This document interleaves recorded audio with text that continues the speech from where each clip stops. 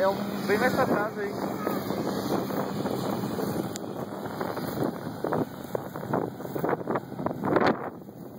Pra cima a orelha.